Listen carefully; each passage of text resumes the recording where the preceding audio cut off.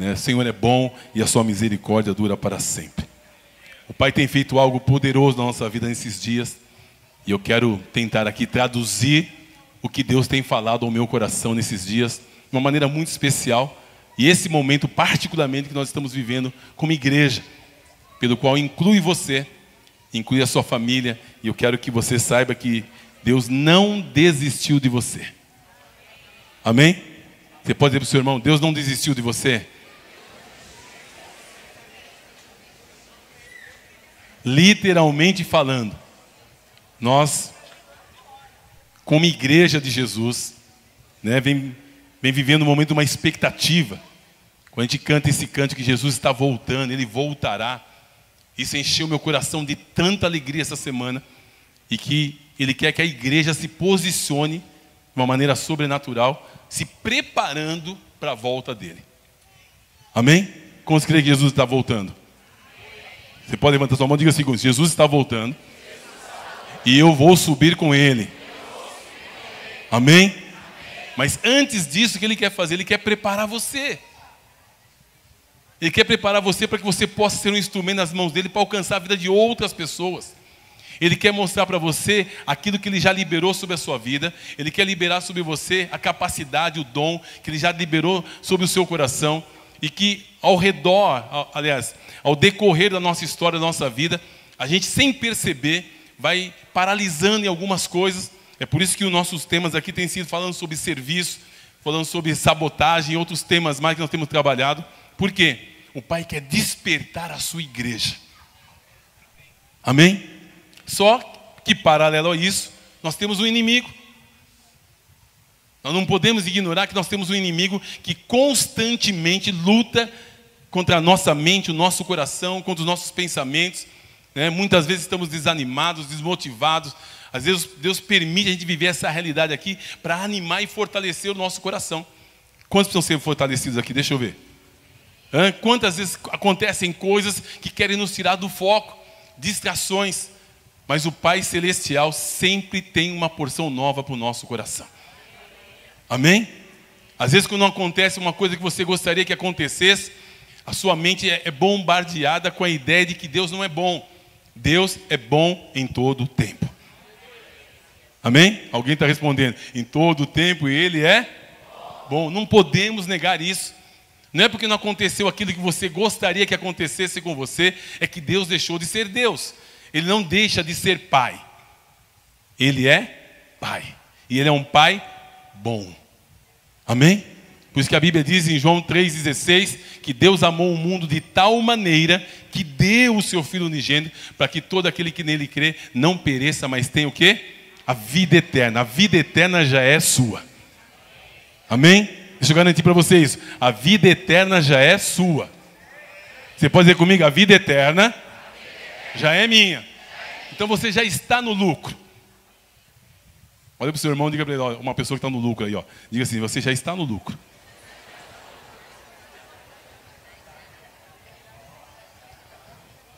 Se não entrou no lucro ainda, pode entrar hoje. Amém?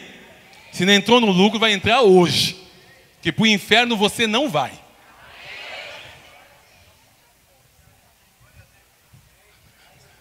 Se eu tivesse seu lugar, eu já estava jogando a cadeira para cima, de essa boa notícia. Amém? Porque o Pai não criou você para ir para o inferno. Amém? Tudo vai da nossa decisão, tudo vai das nossas escolhas, do posicionamento que Deus quer que a gente tenha nesses dias. Na ceia, você tão Deus, vai, Deus não, Deus vai ser tão cirúrgico domingo que vem na ceia, liberando coisas tão especiais para o nosso coração, que eu tenho certeza que você vai avançar cada vez mais. 2025, diga comigo, 2025 será o melhor ano da sua vida. Mas a boa notícia é que 2024 não acabou ainda. Esse ano 2024, irmãos, é o melhor ano da minha vida. Sabe por quê? Porque eu nunca vivi esse ano. Estou vivendo agora. Então tem muita coisa para acontecer ainda que não aconteceu na minha vida. E eu só tenho expectativa de coisas boas que vão acontecer. Lembra de Romanos capítulo 12, verso 1 e 2? Que todas as coisas cooperam para o bem daqueles que amam a Deus. Eu só espero coisas boas. As coisas ruins deixa para o inimigo. Amém? Então espere coisas boas. Deus ministrou nessa madrugada que agora eu, o Pai resolveu literalmente, todas as madrugadas agora, me acordar e, e liberar coisas que Ele quer fazer durante o dia. E está sendo muito legal.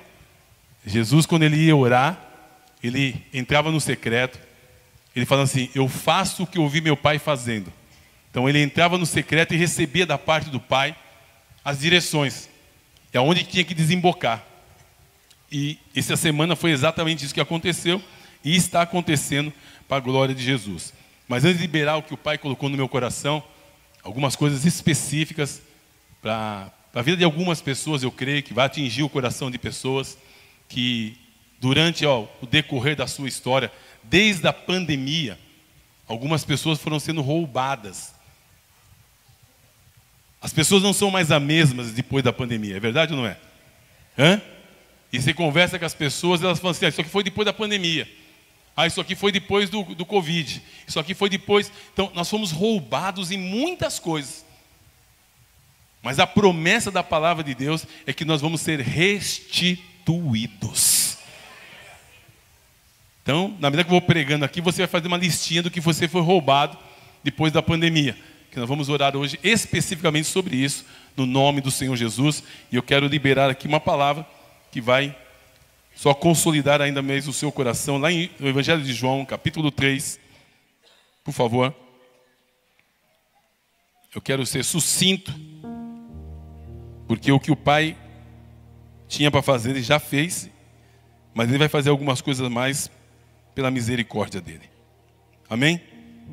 Eu queria que você sempre lesse as Escrituras a partir do, do ponto de vista que Deus está falando com você. Quando a gente lê as Escrituras, nós não podemos ficar ouvindo ou lendo as Escrituras, lembrando dos outros. Eu tenho feito isso. Eu estou lendo as Escrituras e olhando para a minha realidade e para a minha vida, para aquilo que eu preciso mudar na minha vida. Então, quando eu compartilho na live, eu compartilho nos cultos, eu não prego para as pessoas, eu estou pregando para mim. Amém? E quando você ouvir, ouça para você e pega para você. E não entenda que é um recado do homem, entenda que é um recado de Deus. Amém? Porque existe uma responsabilidade sobre isso. De não falar para as pessoas aquilo que você não esteja disposto a ouvir ou praticar. E por outro lado também, guarda o seu coração após todas as mensagens que você ouvir. Guarda o seu coração. E a sua a, como nós aprendemos aqui a semana passada, é o que contamina o homem não é o que entra, mas é o que sai. Você pode perder às vezes por não guardar o seu coração e não saber liberar o que o Pai tem para liberar para outras pessoas através da sua vida. Que saímos aqui com o coração tão desejoso de, de viver e praticar aquilo que o Pai está falando conosco. Porque nós temos um Pai de amor, Ele fala porque Ele nos ama. Amém? Você pode ter muito tempo de vida cristã, você pode estar começando agora. Anele deseje viver uma vida cristã intensa. E se tem alguma coisa que está te impedindo, olha, acredite, hoje esse impedimento cai por terra. Se você deixou o primeiro amor, se você tinha tanta intensidade pelo reino, peça isso, fala, Senhor, restaura. Como se fosse o primeiro culto da minha vida. E como se fosse o último culto da minha vida. Mas peça para Ele restaurar. E eu creio que Ele há de fazer. Amém? Evangelho de João, capítulo 3, verso 1 em diante, diz assim: Havia um fariseu chamado Nicodemos, autoridade entre os judeus, e ele veio a Jesus à noite e disse: Rabi, sabemos que ensinas da parte de Deus, pois ninguém pode realizar os sinais milagrosos que fazes se Deus não estiver com ele. Em resposta, Jesus declarou: Em verdade lhe digo que ninguém pode ver o reino de Deus senão senão nascer de novo. Nicodemos perguntou: Como alguém pode nascer quando já velho? É claro que não pode entrar pela segunda vez no ventre da sua mãe e renascer. Jesus respondeu: Em verdade lhe digo que ninguém pode entrar no reino de Deus se não nascer da água, que é a palavra, e do espírito. O que nasce da carne é carne, mas o que nasce do espírito é espírito. Não se surpreenda pelo fato de eu ter dito: é necessário que vocês nasçam de novo. O vento sopra para onde quer. Você escuta, mas não sabe, não pode dizer de onde vem nem para onde vai. Assim acontece com todos nascidos do Espírito. Ninguém, é, Nicodemos perguntou: como pode ser isso? Jesus disse: Você é mestre em Israel e não entende essas coisas? Em verdade lhe digo que falamos do que conhecemos, testemunhamos do que vimos, mas mesmo assim vocês não aceitam o nosso testemunho. Eu falei de coisas terrenas e você não não creram. Vocês não creram. Como crerão se eu falar de coisas celestiais? Ninguém jamais subiu ao céu a não ser aquele que veio do céu, o Filho do Homem. Da mesma forma que Moisés levantou a serpente no deserto, assim também é necessário que o Filho do Homem seja levantado para que todo aquele que nele crê tenha o quê? Tenha o quê? Vida eterna. Essa é a declaração mais poderosa das Escrituras. Que quando você crê no que ele está dizendo, você salta para a vida eterna. Ou seja, literalmente o Espírito Santo te leva a viver uma experiência totalmente diferente. O que significa isso, pastor? Ele muda você. Ele muda você de reino. Ele muda a sua história, ele muda a sua vida. Eu creio que essa palavra é de entrar no seu coração de uma maneira tão poderosa que vai levar você a questionar, a até mesmo perguntar se você verdadeiramente nasceu de novo. Mas não é para levar você numa crise, não, é para você começar a dar passos práticos de quem nasceu de novo. Amém? Ou seja, na medida que vem a revelação da palavra de Deus, o desejo do nosso coração tem que ser: Senhor, eu quero viver isso. E a hora que você dá uma resposta para o Espírito Santo, ele muda você por dentro. Ele cura você por dentro, como o texto que nós citamos aqui esses dias de, Hebreus 9, 14. Ele nos cura por dentro. E essa cura, ela vai atingir literalmente, principalmente no seu passado. Porque tem muitas pessoas querendo viver o presente sem se livrar do passado. Isso vira um peso, isso vira um tormento, isso vira um sofrimento, porque ela não consegue entender que o nascer de novo é literalmente deixar o passado e começar a viver uma nova vida. Amém? Então, é muito mais do que você apenas levantar a mão para Jesus, é muito mais do que você ter um ato de fé, é você crer. Então, o verso 16, 15 novamente diz assim: é para que todo aquele que nele crê tenha a vida eterna. Então, para tomar posse da vida eterna, é só declarar: Eu creio. Eu, eu creio. E essa atitude de fé de declarar eu creio vai literalmente colocar dentro de você o reino de Deus. Nós vamos explicar mais sobre isso. Então, Evangelho de João 3,16 diz assim: Porque Deus amou tanto o mundo que deu o seu filho. Alguém aqui em sã consciência consegue doar um filho para salvar alguém? Vamos pegar o Dudu? Hein, Ricardo? Vamos pegar o Dudu para salvar alguém? Não. Por mais que você ame alguém, você não vai dar o seu filho para morrer. Mas o Pai Celestial fez isso. Por mim e por você. Ele deu o seu único filho para sofrer por todos nós. Isso foi um ato de amor para com a nossa vida. Pois Deus enviou o seu Filho ao mundo, não para condenar o mundo. É por isso que o Pai não quer que você viva debaixo de culpa, de condenação e de medo.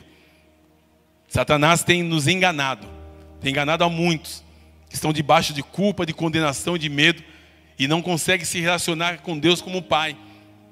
Por quê? Porque o mundo sempre vai colocar sobre você um peso, mas o Pai quer colocar em você um alívio total dessas questões. Creia nisso. Ele quer firmar a sua identidade de filhos, filhos amados de Deus. Então, ele não veio para condenar o mundo, mas para que o mundo fosse salvo por meio dele. Quem nele crê não é. Olha só, quem nele crê não é. Nós declaramos anteriormente: quem crê será salvo e terá o que? Vida eterna. Grava essas coisas. Vamos repetir juntos? Ele vai ter o que? Vida e não será. Mas quem não vai ser condenado? E quem? Quem crê. Grava isso, isso é tão importante. Você vai poder ajudar pessoas, porque as pessoas complicam tanto o Evangelho. As pessoas falam tantas coisas. A gente ouve tantas mensagens e depois não consegue praticar, por quê? Porque o, o, a coisa mais clara a gente não está liberando para as pessoas. A gente tenta convencer as pessoas com os nossos argumentos. Nós temos que liberar a palavra de Deus, porque quem vai convencer é o Espírito Santo. Quem é? Tem pessoas que estão esperando tanto tempo para entregar a sua vida para Jesus, para se batizar, porque isso não está claro. Ela acha que tem que deixar isso, deixar aquilo, deixar de fazer isso, deixar de fazer aquilo. Não, entrega. E o Espírito Santo, quando estiver em você, ele vai dizer para você que estilo de vida você vai ter. Entrega o teu caminho ao Senhor, confia nele, que do mais ele fará. É entrega. Ele é um bom condutor. Ele é um bom condutor. Ele vai conduzir você para um lugar maravilhoso. Então, verso 18: Quem nele crê não é condenado, mas quem não crê já está condenado, porque não crê no nome do Filho unigênito de Deus. Enquanto nós não fazemos essa declaração de fé, nós estamos sim debaixo de uma condenação. Mas quando nós declaramos pela fé que nós cremos, cessa toda a condenação. Romanos capítulo 8, Dá uma olhadinha, por favor. Quando você crê, você recebe. Aí quando você vai para Romanos aqui, vem uma declaração poderosa para a sua vida, para a minha vida. Romanos capítulo 8, verso 1, diz assim. Anota esse texto. Abra na sua Bíblia, no seu celular. Diz assim: Portanto, como está dizendo aí? E depois? Olha, escuta, espera. Está dizendo portanto. Que significa portanto? Daqui para frente. Aí vem uma afirmação. Quando? Não é amanhã? Quando? Agora. A Bíblia diz: se você ouvir a voz de Deus, não endureça o seu coração. As decisões são para agora. Quando? Agora. É você ler as Escrituras, o Pai fala com você, ele libera uma palavra, às vezes por mais dura que seja para o seu coração humano, diga sempre assim: é agora que eu vou decidir. É agora que eu vou abandonar. É agora, não tem chance, é agora. Quando? Agora. Se eu falar para você, que eu tenho, vou falar para o meu amigo aqui é mais, mais, mais sensato. Falar para o Ismael, Ismael, eu tenho mil reais para você. Você vai pensar que é para amanhã ou para hoje? Para quando? Agora. Se Deus está dizendo para nós que Ele vai fazer agora, eu vou esperar para amanhã? Por quê? Vamos ser inteligentes. Porque amanhã pode não dar tempo. Amanhã Presta atenção todos. Que estão no presencial e mais de 100 famílias que estão no online. A decisão é para Deus só cria pretexto para nós, para nos atrair, para nos trazer um ambiente para falar conosco que é agora. Eu fico impressionado quando eu vejo alguns vídeos, vocês devem ver também, quando está falando que não, tem, não dá tempo de tomar decisões. São pessoas, às vezes, que estão ali num púlpito pregando e cai. Tem pessoas que estão falando, numa jornalista vai e cai, morre. Tem alguém que está andando na rua, cai. Por quê? Porque às vezes não deu tempo de tomar outras decisões ou fazer escolhas. Para amar alguém tem que ser quando? Para liberar perdão tem que ser quando? Para falar mal dos outros, para parar de falar mal dos outros tem que ser quando?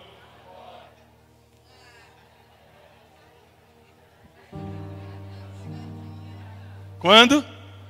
Agora. Vai esperar. Ah, eu vou continuar falando. Não, pare de falar mal agora. Tem que abençoar é quando? Tem que tirar essa amargura do coração quando?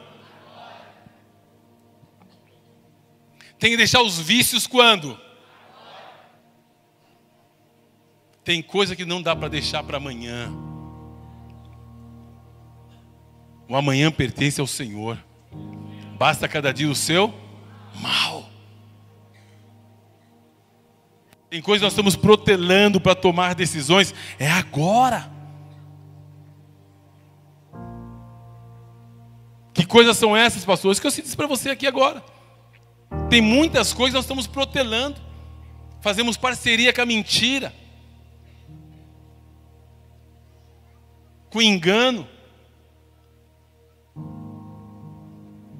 Vamos deixar quando? Agora. Então o texto diz aqui: portanto, daqui para frente, agora já não há condenação para os que estão em Cristo Jesus. Se você tomar posse pela fé, que você está em Cristo, agora, para toda a condenação sobre você. E a partir de hoje, você começa a tomar decisões e fazer escolhas de servir a Deus, de amar pessoas, de se envolver no reino, e a sua vida nunca mais será a mesma. Quantos creem nisso? Amém? Tá claro isso? Porque amanhã pode não dar mais tempo. Ninguém tem garantias. Amém? Amém, queridos? Toma, toma essa verdade para o seu coração. Os irmãos que tomaram decisões para o batismo, tomaram uma decisão, porque o Espírito Santo convenceu eles, não foi o pai, não foi a mãe, não foi ninguém, como muitos de vocês já fizeram. Mas isso é só o início. É o desejo do Henrique de, de nunca mais se afastar de Jesus. Isso é maravilhoso. Amém? É, tem que ser essa decisão. Vai ter lutas, dificuldades, tribulações, vão. Jesus falou: no mundo tereis o quê? Aflições, mas tem de bom ânimo, porque eu venci o mundo.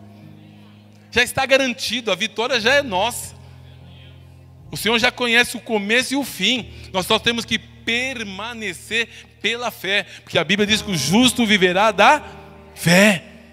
E a fé vem pelo ouvir e ouvir a palavra de Deus. E toda vez que você ouve a palavra, você dá uma resposta para a palavra. Amém? Mas essa resposta não pode ser, ah, eu vou dar a resposta amanhã. A resposta tem que ser quando? É no momento que você ouve, é no momento que você está ali de devocional com Deus. O Espírito Santo deixou muito claro isso para o meu coração esses dias, que eu tenho que tomar decisões é na hora. Quando? Não, e não importa a idade. Não importa a idade. Deus falou para mim nesses dias três idades: 7, 14 e 21. Eu vou falar sobre isso na, na, na ceia.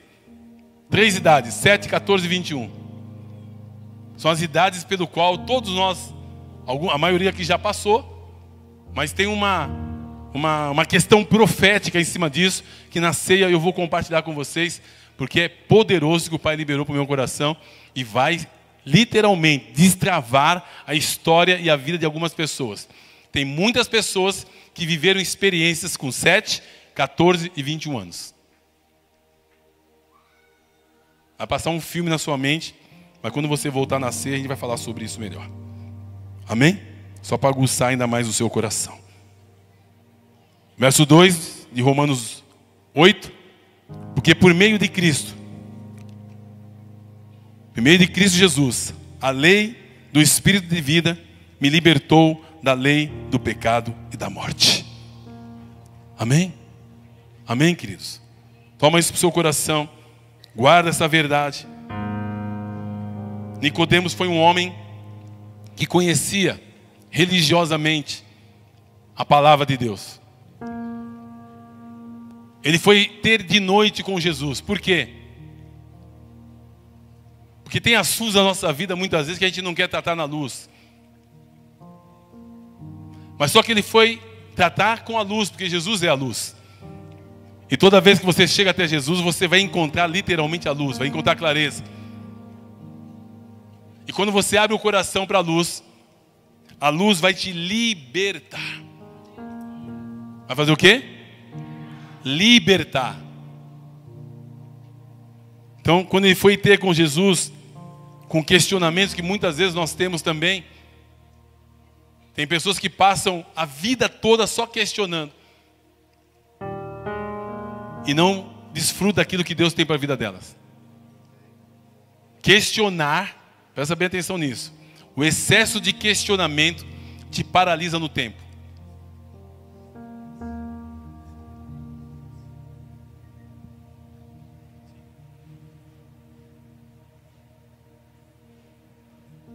É mesmo, filha. Fica atenta que eu vou falar nas lives também. Ela quer que eu fale agora, o 7, 14 e 21. É gostoso isso. Mas eu vou falar uma palhinha só para você não ir embora triste. Tá vendo quando a gente com fome? E olha que interessante. Quando a gente vive a vida reclamando, nós ficamos paralisados no tempo. Quando a gente vive a vida reclamando, a gente vive através de distrações. E a vida passa. E você não desfruta daquilo que Deus tem para você. É verdade ou não é? É verdade ou não é? Você não desfruta nem da comida que você come. Você não desfruta nem das roupas que você compra. Você não desfruta nem dos bens que você tem, porque a sua mente é roubada nas reclamações. Nós não valorizamos as pequenas coisas da vida. E somos roubados. Nós não valorizamos o que Deus nos deu. Nós somos roubados. É verdade ou não é?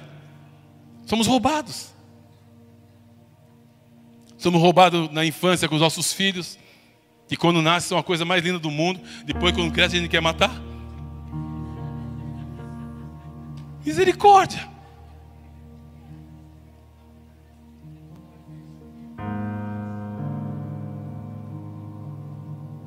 Eu sei que a maioria não faz isso, né? São alguns só. Mas aquilo que era para trazer alegria, começa a trazer tristeza, dor. Então esse homem foi ter com Jesus na expectativa, eu creio que o anseio do coração dele era exatamente descobrir uma razão para a vida dele. Porque era um homem que tinha conhecimento, era um homem inteligente, era um homem é, religioso, mas estava vivendo um conflito. Qual é o conflito que o religioso vive? Ele quer viver a vida cristã, mas não consegue, porque não se arrepende. Essa é a palavra-chave que o Pai tem liberado para o meu coração nesses dias: arrependimento. Pode repetir comigo? Arrependimento. E o arrependimento leva a mudança. Arrependimento leva a novas atitudes. Esmurro o meu corpo, levo a servidão, para que quando pregar aos outros não seja reprovado. Tem que ter coragem para se arrepender. Estou dizendo aqui para os crentes, que quem, quem é novo convertido se arrepende muito rápido. É verdade ou não é? Novo convertido, você não precisa falar nada. Você fala a vírgula, ninguém nem saber o que vem depois da vírgula, já está fazendo. Você não precisa convencer o novo convertido a viver uma vida cristã. Ele vive. Mas muitos de nós podemos ter perdido isso. Eu cheguei à conclusão que eu tenho dificuldade de me arrepender. Eu sou duro de arrependimento. Eu fiquei envergonhado essa semana. Precisou o Espírito Santo gentilmente, ele é gentil. Presta atenção nisso, meu irmão, minha irmã. O Espírito Santo é gentil. Ele te leva num caminho, como o filho pródigo. Lembra do filho pródigo? Ele foi, gastou tudo que tinha, mas o pai nunca deixou de chamá-lo de filho. E quando ele voltou, o pai já estava esperando ele. O pai não trouxe culpa nem condenação, nada sobre ele. Quando ele voltou, o pai honrou com anel, com sandália, com capa. E para chatear os religiosos, ele matou o novilho gordo ainda. Aquele novilho, na minha cabeça, eu vou perguntar lá no céu ainda para ele, mas na minha cabeça aquele novilho era aquele, aquela carne bem, estava todo mundo esperando o dia para comer aquele novilho. E foi bem no dia que aquele filho voltou para a casa do pai. O filho que volta, o pai tem o melhor para ele.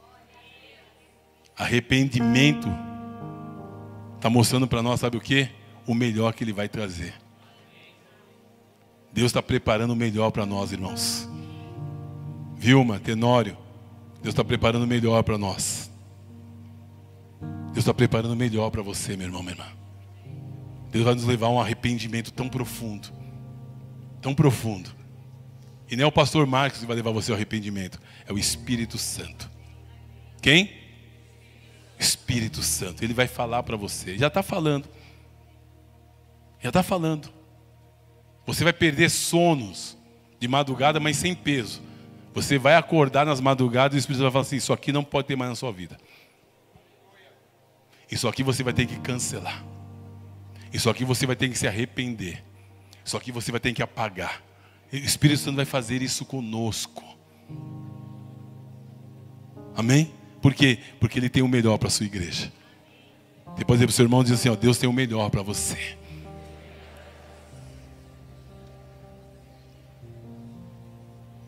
Sete, 14 e um. Sete é a idade que a criança recebe toda a formação, certo? Os pedagogos aí. Então, essa é a idade que muitas crianças sofrem e são marcadas na sua mente. Muitos de nós, nessa idade, têm lembranças muito fortes. É verdade ou não é? 14 é a idade da adolescência, em que muitos são atacados na sua mente, no seu coração, e que ficam com marcas muito fortes. É nessa idade que muitos, inclusive, desviam na fé. Tem muitos casos de adolescentes se suicidando nessa idade.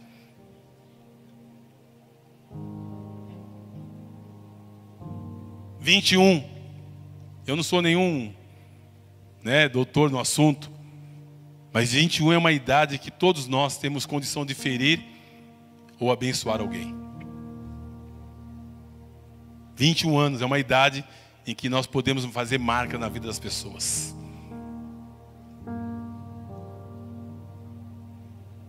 Esse é o resumo, irmã. Mas volta domingo que vem.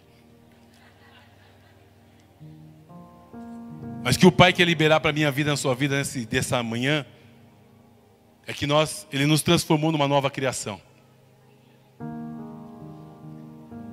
Se alguém está em Cristo, nova criação é. As coisas velhas se passaram. E tudo. Você pode colocar o texto para mim, por favor, filha? 2 Coríntios 5, 17. É isso? Portanto, olha o portanto de novo. Portanto, repete comigo, por favor. Portanto, se alguém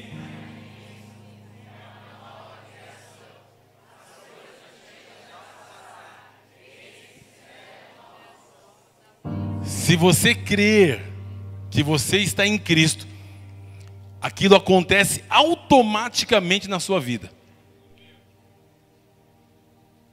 Automaticamente. O passado passa a não ter mais efeito na sua vida. Como assim, pastor?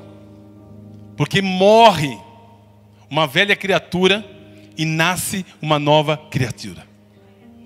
Por isso Jesus disse para Nicodemos: o que é nascido da carne é carne, ou seja, o nosso nascimento natural não muda. Mas espiritualmente você é convencido pela palavra, porque a palavra de Deus ela é viva, ela é eficaz e ela tem poder para nos regenerar, ela tem poder para nos criar novamente. Então, quando eu tomo uma atitude de fé, literalmente, eu recebo pela fé um coração novo, uma nova vida, e eu sou regenerado pela palavra eu me torno uma nova criação. E a Bíblia diz: as coisas antigas já Ou seja, o passado não vai ter mais efeito na sua vida, a não ser que você queira. Porque aqui ele está literalmente cancelando. É uma mudança de mente, é uma metanoia. Romanos 12 diz: para nós não nos conformarmos com esse mundo, mas transformarmos pela renovação da nossa mente. Nós não vamos conseguir apertar um botão e deletar tudo, mas você vai poder reeditar com todas as coisas boas que tem nas Escrituras. Amém? É reeditar, ou seja, você começa a colocar uma nova história. Você começa a ser imitador de Cristo. Você vai querer as coisas que Cristo quer. Você vai querer fazer a vontade do Pai. Você não vai mais andar segundo a sua vontade. O grande desafio do diabo é sempre nos convencer que nós temos que fazer a nossa vontade e não a vontade do Pai, até ele nos isolar. E aí a Bíblia diz que o solitário busca o seu próprio interesse e insurge contra a verdadeira sabedoria, que é a palavra de Deus. Olha que guerra. Fica uma guerra na mente, no coração. A gente escolhe o que a gente quer crer. A gente escolhe o que a gente quer acreditar. Não. Eu tomo uma decisão, vou, eu vou crer até na capa da Bíblia. O que o Pai falar é para mim. Porque esse livro aqui é uma carta de amor de um pai apaixonado pelos seus filhos. A Bíblia é isso para nós. Mesmo quando ela te confrontar, se renda a ela. Se renda a quem? A palavra de Deus. Se alguém está em Cristo, é uma nova criação. As coisas velhas se passaram e tudo se fez novo. Se tem alguma coisa no seu passado que está te condenando, está te acusando, hoje, hoje, você vai olhar para ele e falar: assim, Pai Celestial já liberou sobre mim uma libertação. Eu não sou mais escravo do meu passado. Se você não consegue fazer sozinho, procura alguém que te ajude, alguém maduro, alguém que você reconhece o testemunho. Alguém maduro e fala assim: Olha, eu preciso da sua oração, eu preciso que você me ajude a, ficar, a quebrar isso aqui do meu passado. Porque a Bíblia diz: se eu confessar, eu vou ficar livre. Eu não tenho condições de fazer isso sozinho, não tenho maturidade para isso. Eu não tenho nem intimidade com Deus para isso. Mas se você me ajudar, meu irmão, eu vou ficar livre. E você fica livre. Aí você vai poder declarar publicamente: Eu estou crucificado com Cristo. E vivo não mais eu, mas Cristo vive em mim. Ponto. Nenhuma culpa, nenhuma condenação e nenhum medo. Aí o Pai te levanta com autoridade. E é isso que eu quero encerrar aqui falando com você. O Pai te levanta com autoridade de filho. Evangelho de João, capítulo 1, verso 12. Não na versão da NVI, mas na atualizada. Ela dá um, dá um toque fino nessa, nessa versão. Evangelho de João, capítulo 1, verso 12. Esse texto você não pode esquecer, porque ele vai ser uma bomba dentro de você. É literalmente o pai tirando a, o pino da, da granada e jogando dentro de você para explodir dentro de você, como explodiu dentro do meu coração. Evangelho de João, capítulo 1, verso 12. Pode colocar para mim, por gentileza, nessa versão. Você pode repetir comigo? Vamos lá? Mas a todos quantos Deus o quê? Deu o quê? Deu o quê? Para para pensar. O pai está tirando a pino da granada está jogando dentro de você. Agora você tem um poder dentro de você, que é o poder de ser filho de Deus. Eu, se eu fosse você, eu aplaudia. O poder da palavra. Pastor, como é que eu faço que essa dinamite explodir dentro de mim? O que, que eu preciso fazer? Lá no finalzinho do versículo. Hã? O que eu preciso fazer? Crer. Mas eu não preciso subir no monte, descer do monte. Não, você precisa crer. Subir no monte você sobe, mas agora você precisa o quê? Crer. Só que é poderoso, gente. O dia que o pai liberou esse texto no meu coração, eu saí falando para todo mundo. Já estava na igreja, já era crente, já era pastor. Eu comecei a falar: dentro de nós tem um poder. E para complementar, ele veio com Atos 1,8 dizendo: E recebereis poder. Agora é o poder do Espírito Santo para, sinais, maravilhas, prodígios. E, e veio sobre vós o Espírito Santo. Poder do Espírito Santo, dunamis de Deus. Mas recebereis o que? Está na tela? Lá. Mas recebereis o que? Poder. Ao descer sobre vós, o que? O Espírito Santo que está 24 horas à minha disposição e à sua disposição. Está aqui hoje. Vai operar aqui hoje. De uma maneira sobrenatural. Esse poder vai atingir muitos aqui hoje pela manhã. Esse poder vai tocar em muitas pessoas aqui hoje pela manhã. Quantos creem? Fala assim: Eu quero ser atingido por esse poder. É literalmente isso. É um, é uma, você é atingido por ele. Quem foi no encontro Vida Vitoriosa viu atingido. Eu quero que você seja atingido na rua. Eu quero que você seja atingido na sua casa, lá no banheiro, na cozinha. Está fazendo comida, daqui a pouco é atingido pelo poder de Deus. Lembra disso, Sônia? Sônia está fazendo comida na casa dela, daqui a pouco. Que foi? Foi atingida pelo poder de Deus. Outro dia, Lidiane. Ela está aqui hoje não? Não, vem à noite. Liga. Fala ali. Mandou áudio tentando traduzir, eu não conseguia traduzir. Ela foi atingida pelo poder de Deus na casa dela e não conseguia. Aí tentava falar com o marido, estava na sala, mandava WhatsApp para o marido, que ela conseguia escrever, mas não conseguia falar. Eu quero que você seja atingido pelo poder de Deus. Fogo do céu. Fogo do céu presença de Deus. Pastor, precisa ficar assim, só. Não, não, não precisa não. Você pode ser atingido pelo poder de Deus e as pessoas passarem por você e falar assim: o que, que tem dentro de você que eu quero? Você pode ser atingido pelo poder de Deus e dizer assim: não sou mais eu quem vivo, agora é Cristo que vive em mim. Tudo que eu tenho é de Deus e agora eu vou honrar a Deus com tudo que eu tenho. É a experiência com o poder. Quando não sou mais eu quem vivo, o velho homem morreu, o egoísmo morreu, a maldade morre, a fofoca morre, o, o, o diz que me diz que morre, as picuinhas morrem. Como eu detesto crente picuinha. É horrível lidar com gente picuinha. Mas é legal lidar com gente cheia do Espírito Santo.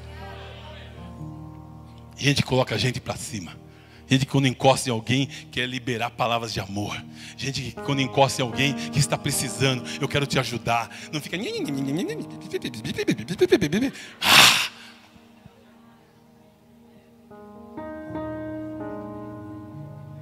Esse é um momento de descontração. Quantos querem ser cheio do poder de Deus? Eu vou dar alguns dados para você que o Pai colocou no meu coração hoje pela madrugada e nós vamos orar. O pessoal da do louvor pode chegar, por gentileza. Agora eu queria que você não se movimentasse, não saísse, porque você pode ser uma dessas pessoas que o Pai quer liberar o poder de Deus sobre a sua vida. Fomos chamados para servir. E muitas vezes tem coisas que estão nos impedindo de servir. Presta bem atenção nisso. Pode ser que tenham coisas que estão sabotando você. Você tenha coisas que estão impedindo você avançar. Eu disse aqui sobre o Covid, que foi uma, uma era que muitos foram atingidos de várias maneiras. Fomos atingidos pela enfermidade, fomos atingidos pelas perdas, fomos atingidos pelos conflitos, fomos atingidos pela discórdia, fomos atingidos que muitas famílias não viviam juntas, quando teve o Covid, foram obrigados a conviver e houve muitos conflitos que até hoje não foram curados. O Covid trouxe sequelas, tirou a liberdade, muitas vezes, as pessoas crerem que podem ser curadas. Muitas pessoas foram tomadas pela incredulidade quando perdeu um ente querido. Muitas pessoas se afastaram de Jesus por causa desse momento. A memória ficou fraca. Hoje, quando a gente esquece alguma coisa, a gente lembra do quê? Do Covid só. É verdade ou não é? Quantos aqui foram afetados na sua memória pelo Covid? Pode levantar a mão. Olha lá. Às vezes eu pergunto para a Cátia, qual é o meu nome? Ela fala, Pastor Marcos. Eu ah, tá bom, já sei quem é. Memória fraca. E outras áreas na vida do homem ou da mulher, nós ficamos indiferentes, ficamos insensíveis à necessidade do nosso próximo, porque nós fechamos em nós mesmos. Temos medo de perder, temos medo de se doar. Perdemos. Fomos paralisando. Você perdeu a liberdade por causa do pecado, muitas vezes não não deixado. Jesus te viu, ele estava lá e te perdoou. Não tem nada que você tenha feito, meu irmão, minha irmã, que Jesus não viu o que você fez, mas ele já te perdoou.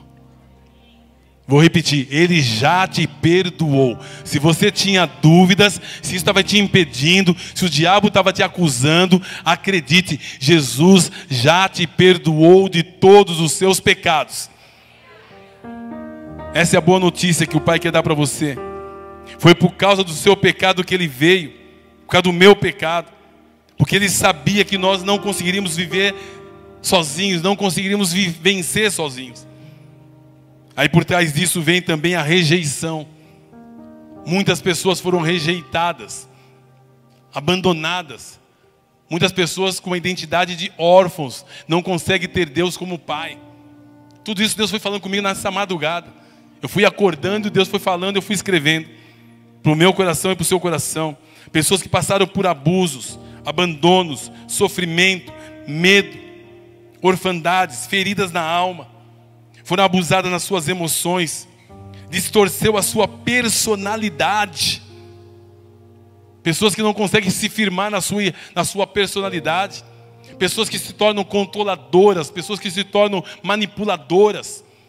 Mas elas não fazem isso porque elas querem, elas foram usadas, elas foram abusadas e, consequentemente, vê essas consequências.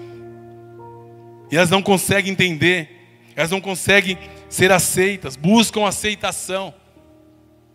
A gente sempre se projeta nos outros, sempre tem expectativa nos outros. A nossa expectativa tem que estar em Jesus. Ele é o autor e consumador da nossa fé. É Ele que nunca vai falhar conosco. Não, transferir, não podemos nos transferir as nossas frustrações nas pessoas. Eu não posso esperar da Kátia, eu não posso esperar do Alexandre, não posso esperar da Amanda. Eu vou sempre esperar em Jesus, porque Ele é suficiente. Se nós ganharmos nossa mente, nosso coração, meus irmãos, nós vamos ver uma vida plena, abundante. Porque as pessoas estão sempre preocupadas com a opinião dos outros. Jesus já fez tudo por você. Porque ele já fez quanto? Tudo. Melhor é dar do que receber. Então,